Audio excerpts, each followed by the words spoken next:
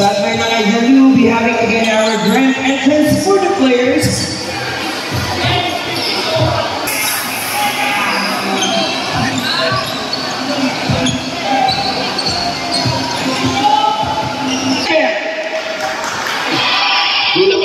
Na player.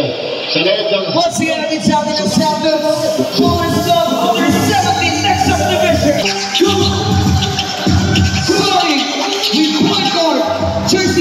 16, Mark